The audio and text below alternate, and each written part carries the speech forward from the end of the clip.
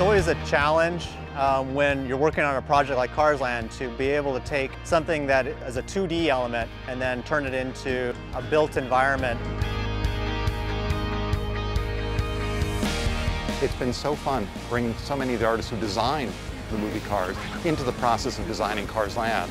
And they have been just so blown away to see their work brought to life. There were so many things in the film that you may just get a little glimpse of in the backdrop, such as the Radiator Springs is a Happy Place mural that we've got in beautiful full color.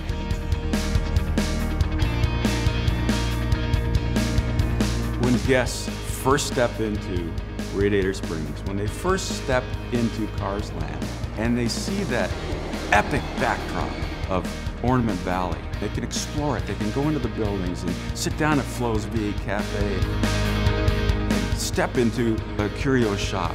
I think it's going to blow them away.